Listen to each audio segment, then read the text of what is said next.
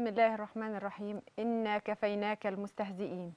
بسم الله الرحمن الرحيم. إن الذين يؤذون الله ورسوله لعنهم الله في الدنيا والآخرة وأعد لهم عذابا مهينا.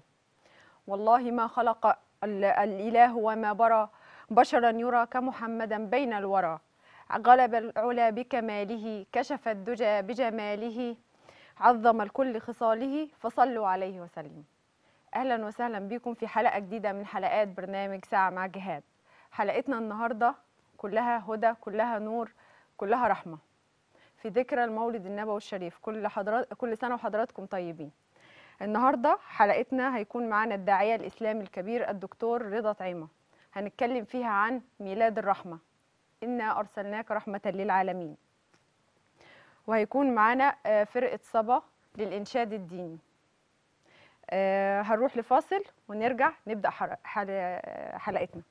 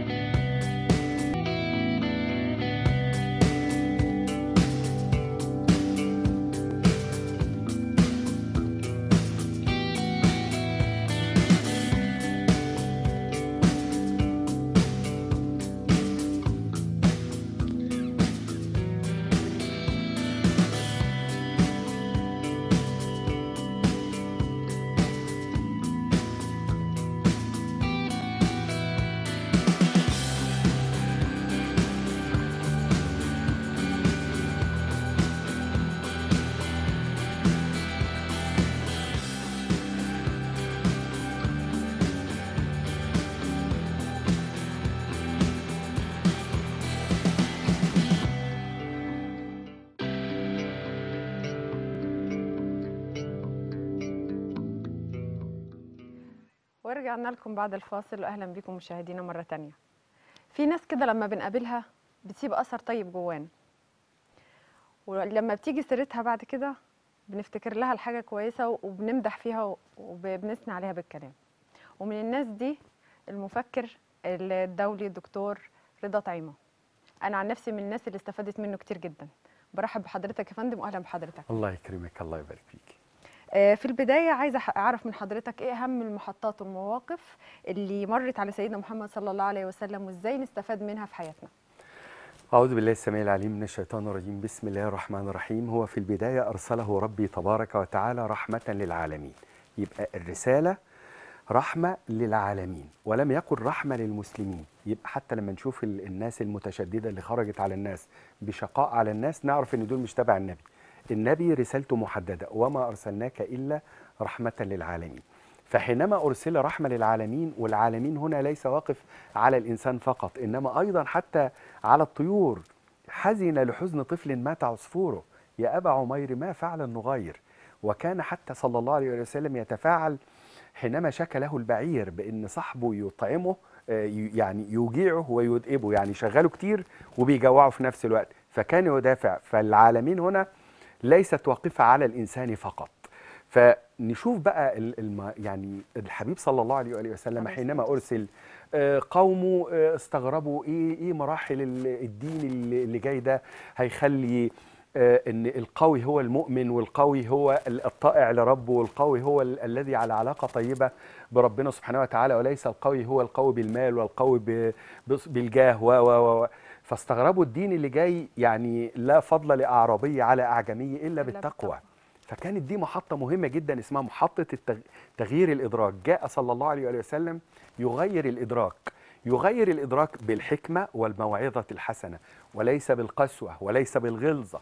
إنما ب- ده كان منهجه. أيضا محطات شدائد بقى قابلته آه، حاربوا النبي صلى الله عليه وسلم جوعوا النبي صلى الله عليه وسلم وحاصروه في شعب أبي طالب ثلاث سنوات.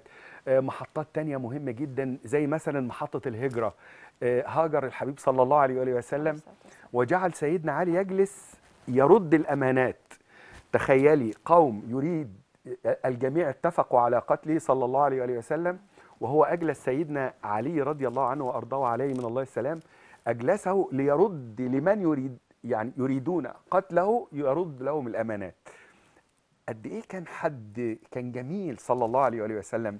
من المحطات المهمة جدا جدا في حياة النبي صلى الله عليه وآله وسلم أنه كان حنونا على أولاده كان حنونا مع زوجته وكان لطيفا لما تيجي السيدة عائشة تكسر الصحفة فالحبيب صلى الله عليه وآله وسلم يلوم الصحفة يقول غارت أمكم غارت أمكم.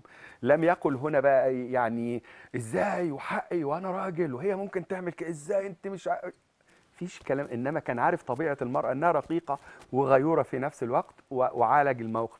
برضو محطة تانية من محطات الحبيب صلى الله عليه وسلم أن الهجرة أمل.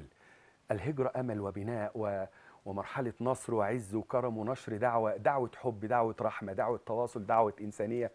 إيه، دع- دعوة دعوة إلى الأمل بدل من بدل الكراهية. دعوة إلى الأمل بدل من اليأس. دعوة للنور بدل من الظلام. دعوة للتواصل بدل القطيعة.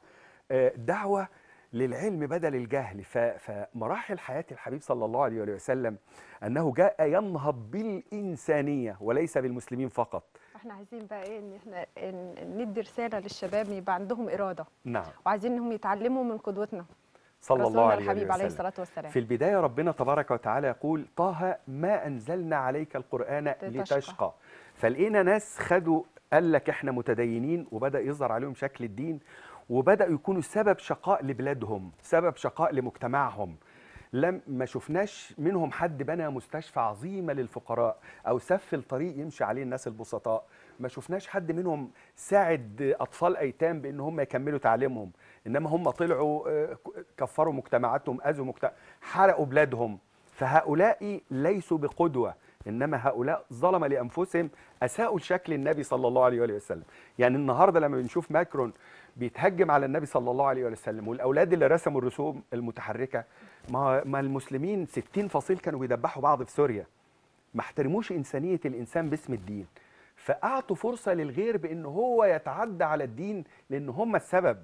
إنما هؤلاء الشباب لو كان خرج خرجت قوتهم بأن هم طوروا بلادهم طوروا مجتمعهم طوروا التصنيع طوروا التصدير طوروا التسويق وكانوا سبب في رفعة هذه الأوطان وعز هذه الأوطان كنا شفنا الإسلام زي, زي الإسلام الرائع لما لما ماليزيا خدت المواطن من الفقر إلى إلى ال- الأشياء الجميلة وإحنا الحمد لله رب العالمين. ما الآن مصر مبني فيها ما شاء الله تبارك الله مدن جديدة بلدنا بدأنا نقف بلدنا واقفة جنب الفقير الآن بلدنا ما شاء الله تبارك الله مقدمة زراعات جديدة صناعات جديدة تصدير جديد مقدمة قوة عسكرية جديدة. مقدمة حاجات حلوة جدا جدا. فإحنا عايزين نقول لاولادنا إن الناس اللي عمالين بقى يحبطوكوا وي- ويدولكوا طاقة يأس وطاقة أصلها مش نافعة أصل الموضوع ده مش هيجي على خير أصل ما نسمعش كلامهم. إنما أنا أقوم وأحلم وأحلم بالبناء بدل الهدم وأحلم بالتعمير بدل الدمار. واحلم بان أنا اكون قيمة جميلة تنهض بوطني ومجتمعي وديني واقدم النموذج الامثل لسيدنا النبي صلى الله عليه عليه الصلاة وسلم. والسلام. عشان كده عايزة حضرتك في كل كلمة حضرتك بتقولها عايزة تطلع زي ما كنت أنا بحضر لحضرتك محاضرات بستفاد من كل كلمة حضرتك بتقولها. عايزة كل الشباب وكل الأمهات وكل الآباء وحتى الأطفال اللي بيسمعونا تبقى كل واحد فيهم الرسالة دي رايحة كأنها رايحة ليه. احسنتي يبنوا مستقبلهم إزاي؟ إزاي نطلع بأمتنا إحنا دي احسنتي رقم واحد عندنا في في علوم التربية والاتزان لأن أنا لازم أربي واربي باتزان مش تربية فقط. تربية بلا اتزان ضياع إنما تربية مع اتزان. وال- والاتزان بيأتي بالقرب بالرحمن. طول ما أنا قريب من رحمنا من ربنا سبحانه وتعالى فأنا شخص متزن. طول ما أنا بقى عندي علم ومانيش مع ربنا ممكن أصنع ديناميت زي ألفريد نوبل لأن ما كانش فيه دين. ولذلك ندم ألفريد نوبل لأنه صنع الديناميت ومن ندمه عمل جائزة نوبل. عايز يقول للناس أنا آسف لأن أنا تسببت في دمار الإنسان. فنيجي بقى نقول نقول لكل المعلمين عد نفسك إعداد جيد علشان إن إحنا نربي هؤلاء الأبناء صح. الأمهات والآباء اللي عايشين في البيوت يتعلموا فنون التربية اللي رباها النبي صلى الله عليه وسلم.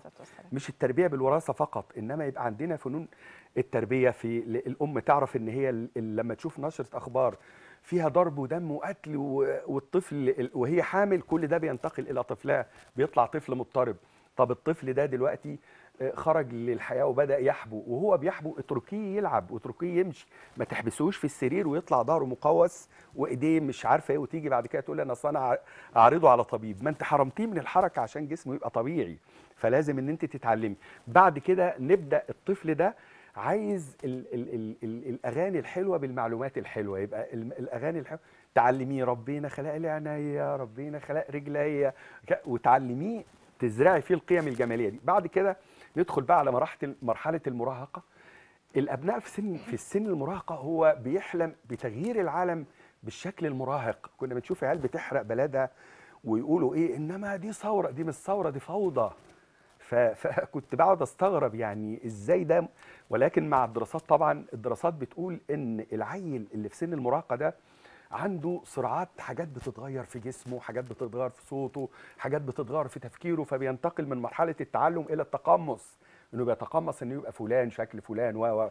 عايزين بقى هذا في المرحلة دي الأم والأب يكونوا حكماء. ما يتصدموش مع الابن ده إنما يحاولوا إن هم يساعدوه إن يبقى إنسان ناجح في الحياة. بإيه؟ بالتعاطف التعاطف من خلال اللمس تحط إيدك على كتف ابنك أو بنتك واخبارك إيه يا قمر؟ عاملة إيه يا جميل؟ وتتكلم مع ابنك. التعاطف التعاطف الصوتي التعاطف اللمسي التعاطف في الحس إنك تحس إن ده ضناك وإنت أغلى حاجة عنده في الدنيا وهو أغلى حاجة عندك في الدنيا فيبقى في تعاطف بينكم وبين بعض. بعد كده بقى مرحلة الشباب الحالم.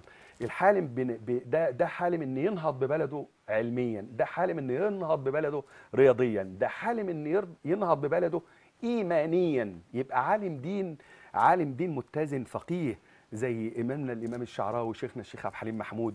وعندنا نماذج زي الدكتور أسامة الأزهري وعندنا نماذج جميلة قوي قوي قوي في نماذج كتيرة بصراحة يحتذى بيها يعني هنا. نعم. بس إحنا عايزين حضرتك تكلمنا عن رحمة الرسول صلى الله عليه وسلم في تعامله مع الناس. وإزاي نوظفه مع شبابنا ونطلع ببناء حضارة الرسول صلى الله عليه وسلم. لو بط... لو بصينا في السيرة العطرة بتاعته هن... هن... هنلاقي عظم يعني صحيح. في بناء حضارة. صحيح. فإحنا عايزين الكلام ده آه، حضرتك تذكر لنا مواقف في رحمة الرسول صلى الله عليه وسلم في التعامل مع الناس. حاضر.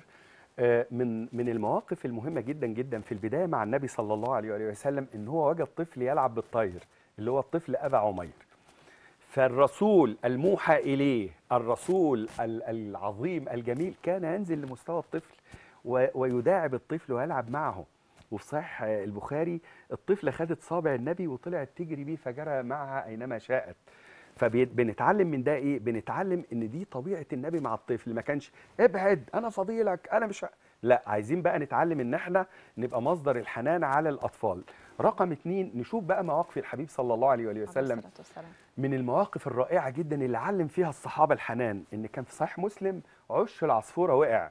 فالصحابة خدوا العش باللي فيه. فجاءت العصفورة وقالت للنبي صلى الله عليه وسلم حديث صحيح. تلف وقالت له يعني أخذوا مني أولادي. فالنبي صلى الله عليه وسلم قال من فجع هذه بأولادها ردوا عليها أولادها. قد إيه كنت حاسس بالعصفورة يا رسول الله؟ ده في المحاكم دلوقتي عمال يقول هوريها مش هخليها تشوفهم مش عارفة إيه. بيحصل كتير آه، بس ده ده نتي- قلة الوعي برضه. برافو عليك. يبقى إحنا دورنا ولذلك أنا كنت بقول للعيال اللي عمالة تحرق وتهدم وتولع باسم الإسلام بقول لهم ربوا الناس علموا الناس. مايكرون ال- اللي اذينا دلوقتي ده و- و- ويعني والرسوم الناس دي ما تعرفش حاجة عن عن سيدنا النبي صلى الله عليه وآله وعشان وسلم كده إحنا عايزين نعرف الناس عايزين نعرفهم بالرسول صلى الله عليه وسلم ورحمته مش بس رحمته اقتصرت على على الناس بس. نعم. رحمته كانت مع الجماد برضه. أحسنتي. وكان كان صلى الله عليه وسلم صلى الله عليه وعلى آله وصحبه. وسلم. لما يعدي على جبل أحد جبل صلت حجر يقول هذا أحد جبل يحبنا ونحبه. يعترف النبي صلى الله عليه وسلم بإرادة الحب للجبل الصلد وأرى الإنسان في داخله قسوة وفي داخله غلظة وفي داخله تعنت. انظر إلى إلى حنانه حتى مع الحجارة صلى الله عليه وآله وسلم. كان يقول والله إني لأعلم حجرا بمكة يسلم علي قبل البعثة ويجي النبي صلى الله عليه وآله وسلم يمر على جبل اسمه جمودان ويقول هذا جمودان سبق المفردون بالذكر بنتعلم ده بإيه؟ إن النبي كان يتفاعل حتى مع الجماد وكان الجماد يتفاعل مع النبي صلى الله عليه وآله وسلم علشان نتعلم إن إحنا لا نهين لا جماد ولا نهين زراعة ولا نهين أي شيء ونبقى مصدر رحمة كما كان صلى الله عليه وآله وسلم. على الإنسانيات ككل فعلشان نبني أمة أمة النبي صلى الله عليه وآله وسلم لما تشوفي مثلا آه، ال- المسلمين في الأندلس إيه إيه اللي هم تاركينه دلوقتي؟ تاركين حضارة ال- الدنيا كلها بتروح تزورها دلوقتي تاركين حضارة علمية تاركين حضارة معمارية تاركين حضارة ثقافية تاركين حضارة التعامل الإنساني. كانت فرنسا بتنام في لمض ال...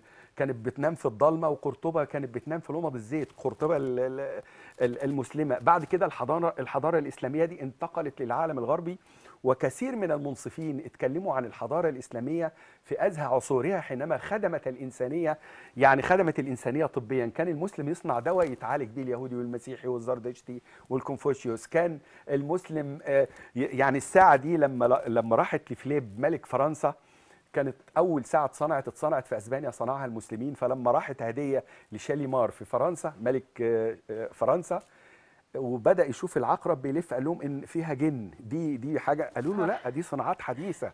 عايزين نعيد بقى نعود إلى هذا إن إحنا نبقى مصدر رحمة مصدر علم مصدر ألفة مصدر تواصل.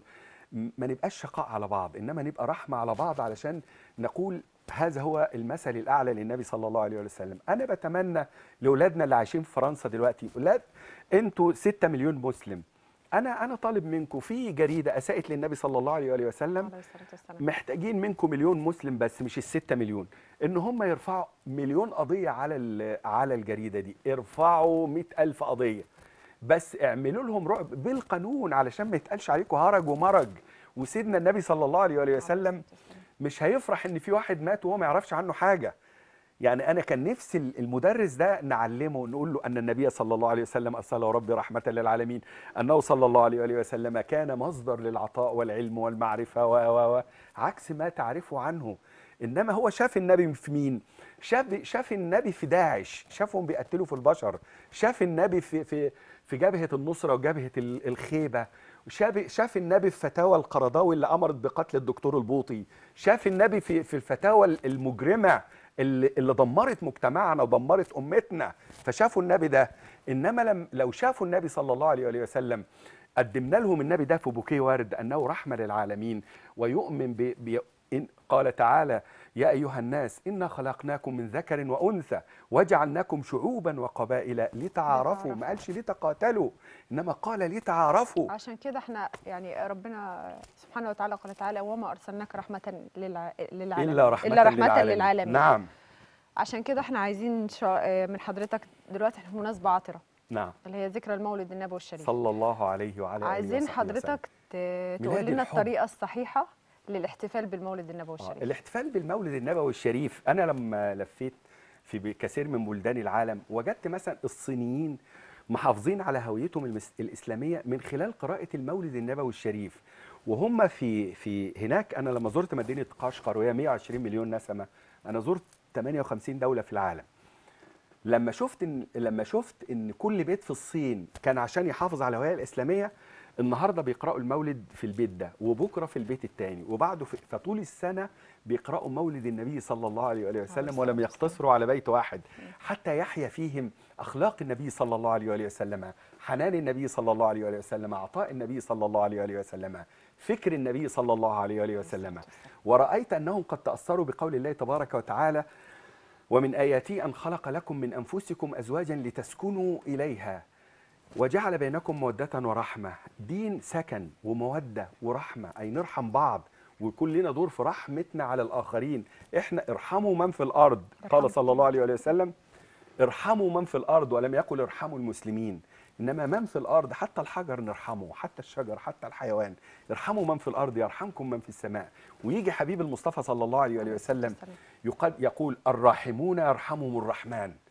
مش القاتلون هؤلاء العيال المجرمين اللي طلعت وشوهت الدين الإسلامي خلت الرسامين تشوف النبي بأفعالهم. إنما أنا دايما كنت أقول يعني لما حصلت الجريمة الأولى في إحنا عشان الرسم كده عايزين حضرتك تقول الطريقة الصح لأن في في بعض العادات بتبقى غلط برضو في الاحتفال بالمولد النبوي. إحنا عايزين الطريقة الصح اللي الناس تحتفل بيها. تحتفل بسيدنا النبي صلى الله عليه وسلم إن هي تذكر آه، محاسنه تذكر ما أمرنا به من من هديه. تمسك صيغ الصلاة اللي أمر بها النبي صلى الله عليه وآله وسلم واللي واللي هي موجودة وما فيهاش أي نوع من أنواع ال- الشركيات. يعني مثلا نقول اللهم صل وسلم وبارك على سيدنا محمد وآله دي صيغة. اللهم صل وسلم وبارك على نبينا محمد. اللهم بحق حبك للنبي محمد صلى الله عليه وآله وسلم وبحق أمرك بالصلاة على النبي محمد صلى الله عليه وآله وسلم وبحق صلاتك على النبي محمد صلى الله عليه وآله وسلم أسألك أن تصلي على نبينا محمد صلى الله عليه وعلى آله وصحبه وسلم.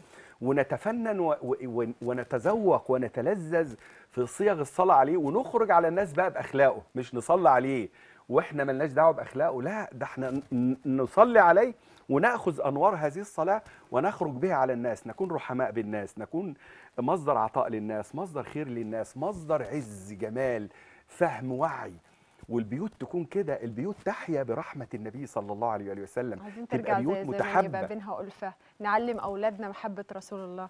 صلى الله عليه وآله وسلم. نعلم نعلم أولادنا السيرة. نعم سيرة في رسول الله. هتعلمنا كل حاجة. في كتاب رائع للدكتور محمد عبده يماني عليه رحمة الله أسكن الله فسيح جناتي اللي هو- أسس قناة اقرأ. اسمه علموا أولادكم محبة النبي صلى الله عليه وآله وسلم. عليه الصلاة علموهم لأن لما ينشأ الابن محب للنبي صلى الله عليه وآله وسلم مش هيجي بقى عيل أهبل من الجامعات المتنطعة تخطفه وت- وتحط في فكره بقى إيه بدل ما يبقى عنده فكر التعذير اللي هو فكر الرحمة يدوله فكر التكفير. والمشكلة إن هم يعملوا الجرائم ويحطوا يافطة الإسلام. أنتوا مالكم مال الإسلام؟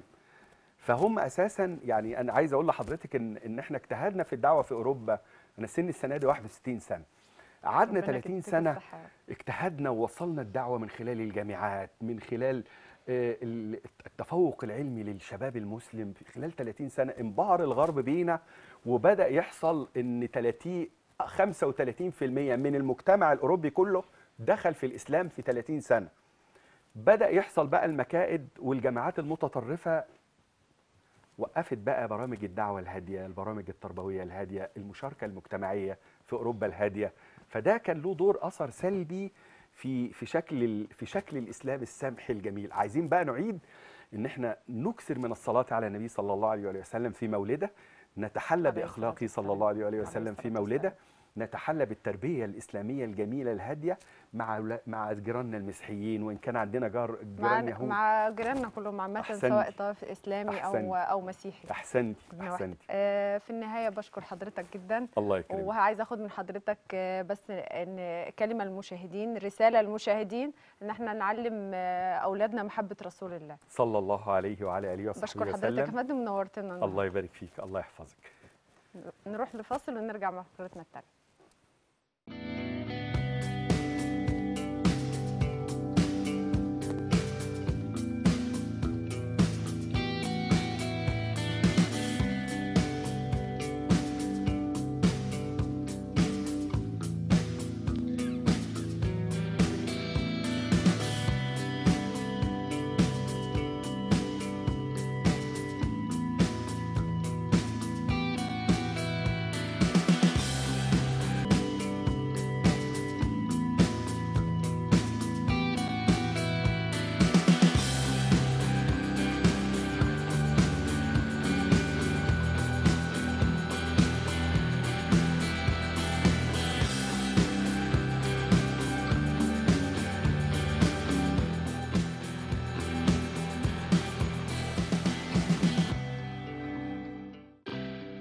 ورجعنا لكم بعد الفاصل وبرحب بفرقة صبا للإنشاد الديني. أهلا وسهلا بحضرتك.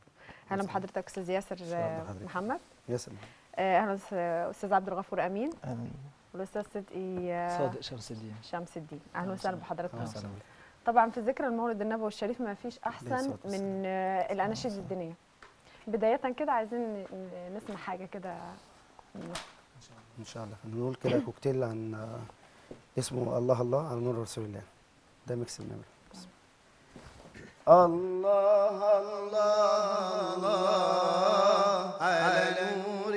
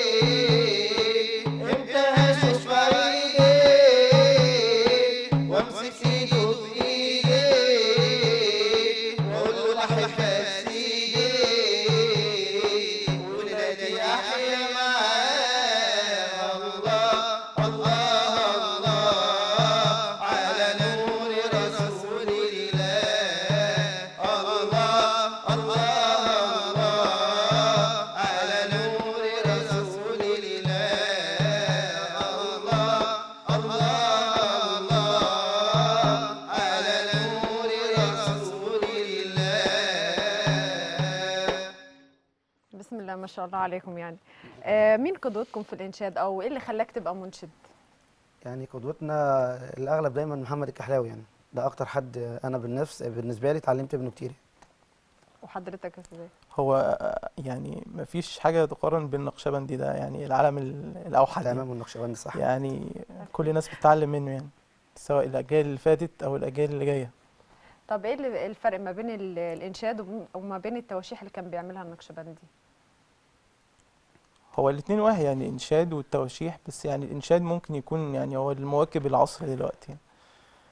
عشان الإيقاعات أكتر طبعا ال music مساعدة أكتر لكن التواشيح حاجات ارتجالية حاجات بيقولها بطريقة مفتوحة بدون tempo أو زمن للإيقاع بيساعدوا على كده فبيقولها براحته أكتر يعني.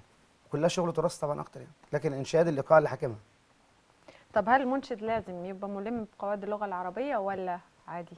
الموهبة أكتر يعني الموهبة والصوت. أهم حاجة. أكيد طبعا برضو يكون لام مهم بس من غير الصوت حلو ما ملوش لازمة.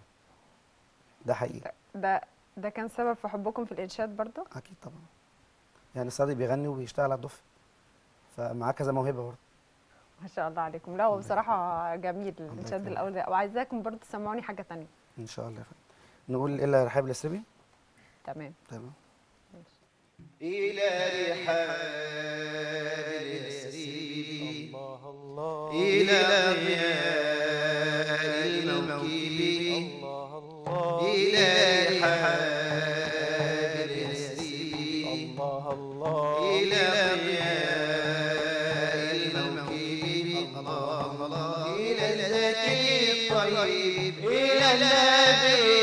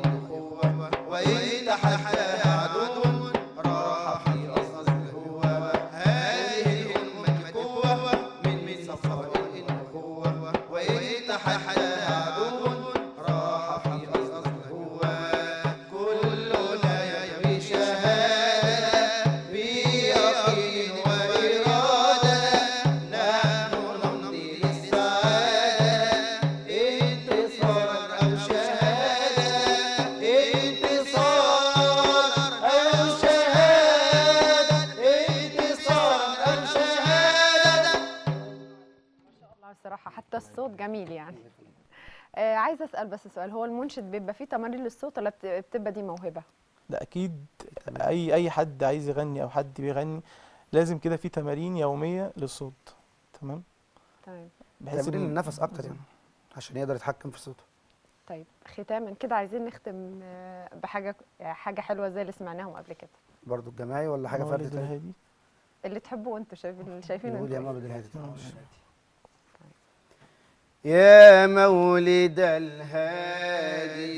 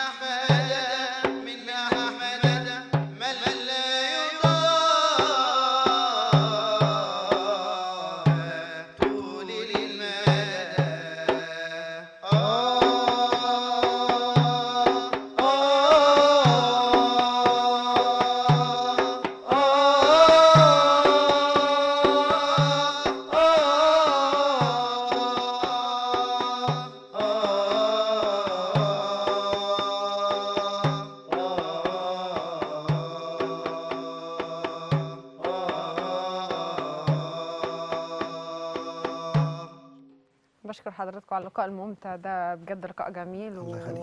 ويا رب كده كل سنة وأنتم طيبين. طيب مي- حيا وميتا يا رسول الله. استنونا في حلقة جديدة من حلقات برنامج ساعة مع جهاد كل يوم اثنين الساعة 7 مساء.